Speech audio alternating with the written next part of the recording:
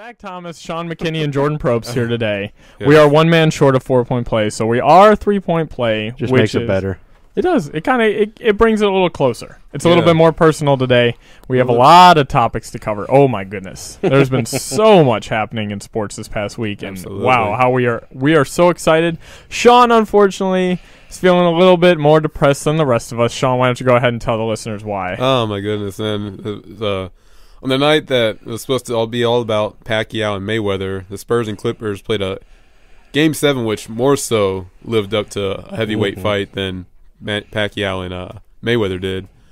Yeah, Spurs looked to be in control of it. They were up by five, and then there were three points where I feel like the game really turned. But there was, you know, there's always that one huge one, and it was when the Spurs were up 97 to 92, and they did the hack of Jordan. Jordan missed both free throws. Tony Parker gets the rebound, but then he doesn't turn around, and then Chris Paul comes up from behind him and gets the steal, and then Clippers make two free throws, and it's 97-94. So that's the first one. That was the big one. Then they had a chance to get it back.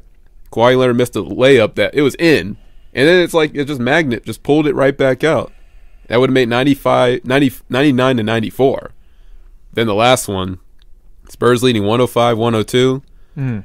Big block by Danny Green on Chris Paul and Tony Parker versus I forget I think it was Blake Griffin. Oh. Just those two. And he goes up for a floater which he usually makes but rolls in and rolls out. That would have put us at 105 107 to 102. that might have been a game clincher. Like if you think about it, that Yeah. really could have done it, done that team in. Yeah, you know. So it's like all those swings because the Leonard layup that missed led to a JJ Redick three pointer that tied the game up, and, then, the rest was really history. and and then the Parker layup also, and then Matt Barnes hits the game tying three pointer again, and then Chris Paul, and then eventually Chris Paul. and then eventually Chris Paul.